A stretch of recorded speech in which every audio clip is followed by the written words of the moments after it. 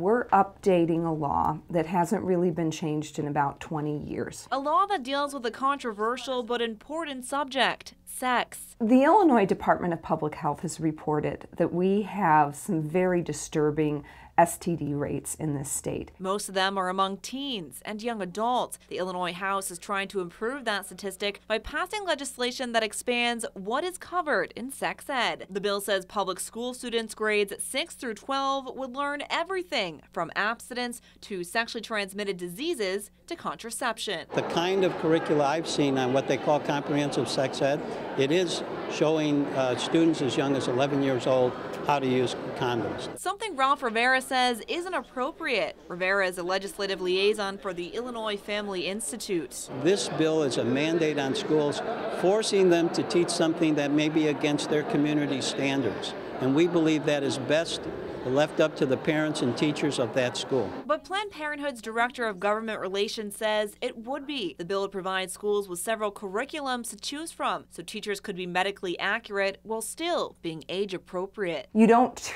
teach calculus before you've taught addition. So that's what we're trying to stress here is that there is a building of information throughout the years of school. But the bill doesn't change the discretion school districts have on teaching sex ed in the first place. Rivera says if educators aren't comfortable with the new guidelines, it's possible they axe the topic altogether. They have a choice. They could just not do sex education. But I don't think that's what this uh, the sponsor and the proponents of this bill want to see. In Springfield, Kimberly Howard, ABC News Channel 20.